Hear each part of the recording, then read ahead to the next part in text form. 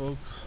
Here's the uh, micro inverter circuit, as it's called, using these small 2 amp 1 watt uh, PNP transistors. So there's four parts in the transformer basically, with a bifilar, uh, 24 gauge bifilar primary, and a 30 gauge secondary.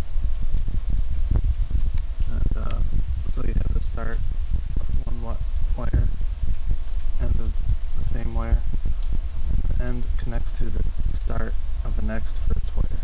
That's your center tap point, shown on the uh, schematic circuit diagram.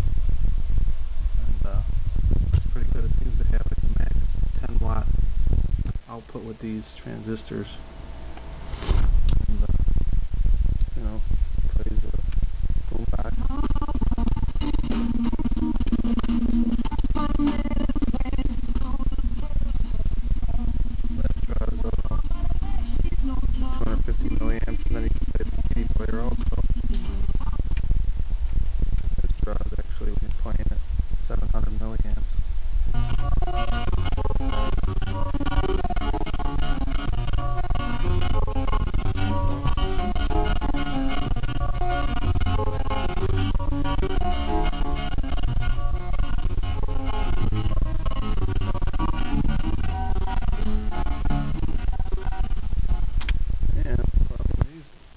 Don't even get uh, they don't even get warm really.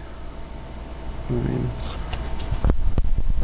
so that's pretty good. Uh, I mean, if that that radio there is drawing nine watts or so, you would think these would get you know warm, but you know warm be driving the, the transistors pretty well with this circuit, and then also it powers this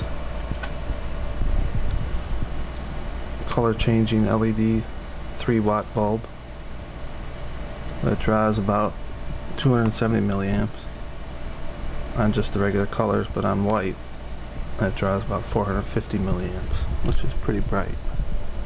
Know, not the greatest color but it's still pretty cool. And uh, just thought I'd share that